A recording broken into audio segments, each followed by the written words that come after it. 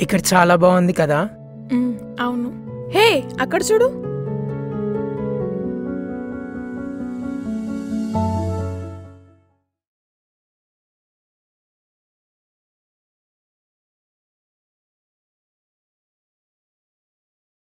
రే ఇట్లాంటి చోటుకొచ్చిన ప్రతి ప్రేమికుడు కళాకారుడైపోతాడంట్రా వాళ్ళ తాతలు కట్టించారు కదరా ఆ మాత్రం ఉంటదిలే.